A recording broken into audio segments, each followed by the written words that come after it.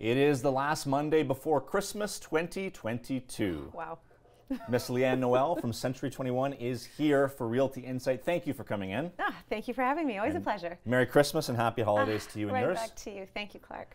You have some statistics for November 2022 that can shed a light into how the market is doing. Can you uh, bring us up to speed on November? I would love to. So I'm doing a year-over-year comparison, and Clarke, this is all based on residential data from the North Bay Real Estate Board MLS system. So from November 21 to November 22, home sales are down 36.9%. We went uh, from 103 units sold in November 2021 to 65 units sold in November 2022. Listings are down 22.5%. We had 102 listings in 2021, and now we have 79 new listings in November 2022. At the end of November of 2022, the market was balanced, uh, but still tilted in favor of our sellers. And the benchmark price at $371,100 in November 2022 is unchanged compared to the same month last year.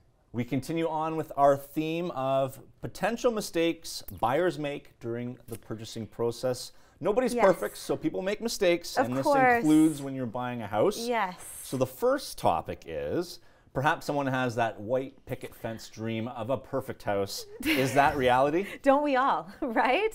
Uh, it can be, of course, but you know, purchasing a home, it's a process of elimination, not selection. New properties arrive on the market daily, so it's very important to be open to all possibilities.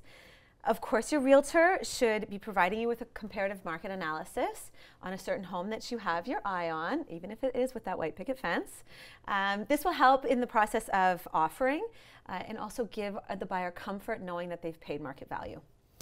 Not knowing total costs involved, that's a potential mistake. Uh, you can see the sticker price and say, oh, Great. that's all I need. Of course. But there's There's things often that follow-up costs. absolutely, and your realtor should outline all those potential costs.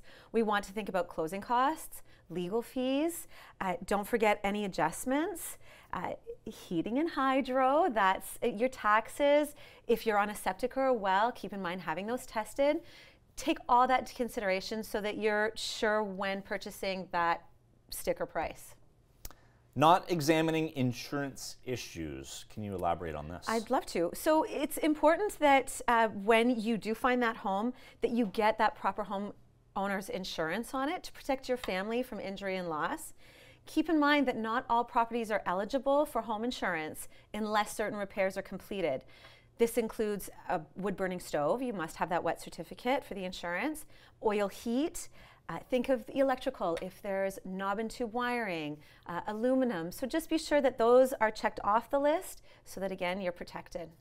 Not doing due diligence. This can apply for pretty much anything in this world. What about home buying? Well, yeah, of course. So we're really, your sales representative should make a list of concerns that you might have with that particular property and in that particular area. You want to think of your neighbors, uh, power lines, uh, crime rates, transportation roadways, uh, environmental conditions. All of these things mention to your realtor so that you fully understand what's going on, uh, so that when you do make an offer on that home, that you're doing it with confidence.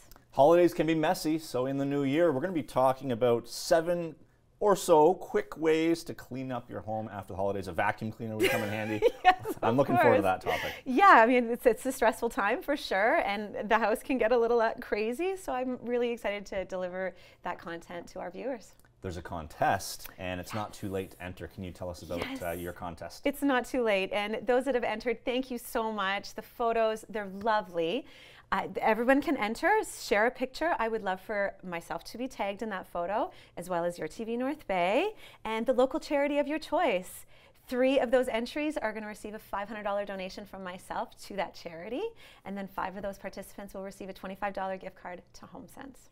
Leeann Noel from Century 21, thank you so much for coming in, and happy you. holidays, Merry Christmas, all the good stuff, Happy New Year. We'll see you back here in 2023. 2023, I'll be here, Clarke. Thank you. There is Leeann Noel of Century 21.